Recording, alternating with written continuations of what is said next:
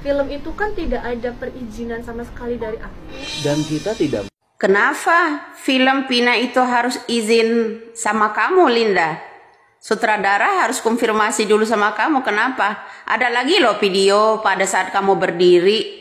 Seharusnya film itu nggak kayak begitu. Seharusnya sutradara itu konfirmasi dulu sama aku. Nah sekarang ini bilang kalau film udah jelas-jelas film itu salah katanya. Itu nggak konfirmasi dulu sama kamu. Berarti kamu tahu dong skenario yang sebenarnya. Terus yang saya tanya, Andi Malinda Putri itu siapa? Hmm? Andi Malinda Putri itu siapa? Hei Linda, kamu jangan pengecut deh, ya. Kamu ini sama AF sama sama aja. Ya kan kamu ada di lokasi yang jelas. Ya, yang jelas kamu ada di lokasi. Ya kan? Apa yang dikatakan Mel-Mel itu benar. Mel-Mel sekarang menghilang. Kamu juga menghilang sekarang ke mana? ah, di Padepokan. Nggak ngaruh kalau memang besok ya yang namanya uh, Mabes Polri ya ambil alih kasus ini mau nggak mau kamu harus tetap juga keluar ya kamu jadi catatan DPO berikutnya jadinya Salah satu yang kamu sebutkan ke Dedi Mulyadi nama kamu ada Andinya, Andi Malinda Putri itu salah satu. Kedua, kamu udah berkali-kali klaim kepada sutradara pembuat film Pina. Ya, enggak seperti itu. Seharusnya sutradara itu konfirmasi dulu sama Anda, ya. Berarti Anda ini tahu semua dong skenario yang namanya pembunuhan Vina ini kan? Skenario pembunuhan Vina ini kan kamu tahu persis. Ya, nggak usah pengecut gitulah. Merangkai kata melulu ke sana kemari kau. Sekarang uh, entah ke mana. Kemarin-marin kamu getol tuh siaran langsung ke mana-mana. Ya, sumpah pocong segala macam. Ya ta? Banyak sekali loh video-video kamu tuh yang membuat uh, terutama saya semakin curiga terus. Kenapa? Ya bukan masalah ini. Dari mimik kamu kesurupan itu yang nanyanya tuh Putri. Ya kan? Yang nanya setiap kesurupan kamu itu pasti Putri ada di tempat.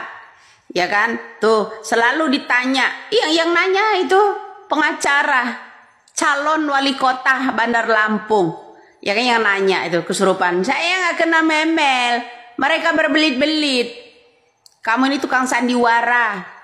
Katakan sama publik, kenapa nama kamu ada Andinya, Andi Malinda Putri, ya kan satu. Kenapa kamu klaim film itu seharusnya sutradaranya harus konfirmasi dulu sama sampean.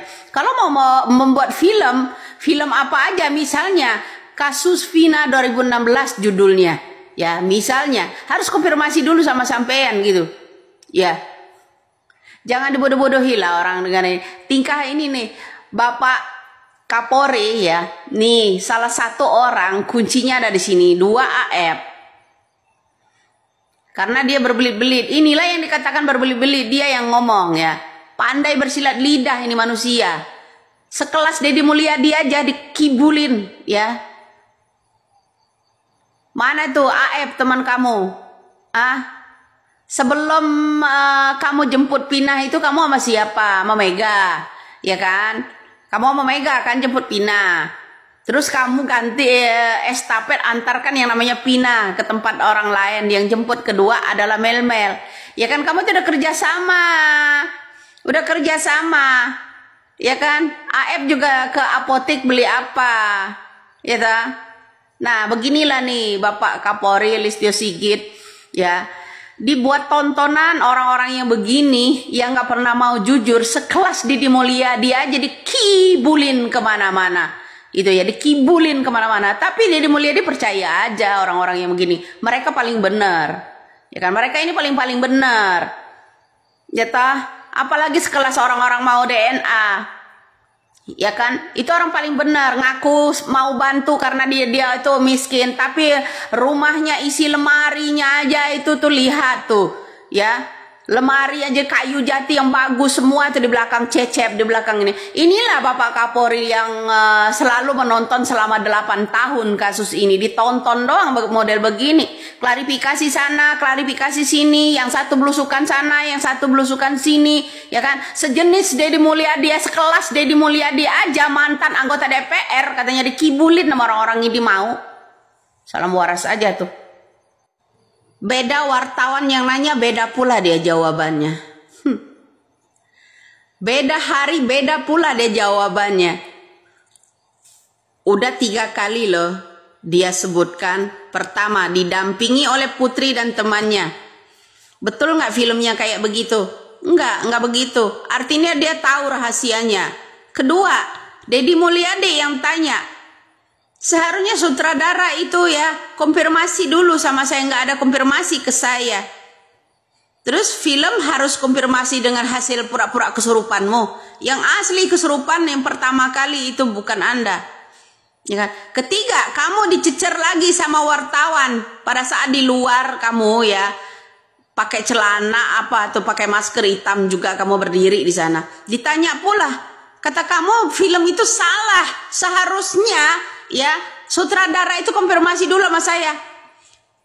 Ya betul lah sutradara memang salah membuat film dulu ya. Filmnya itu tujuh hari Vina itu.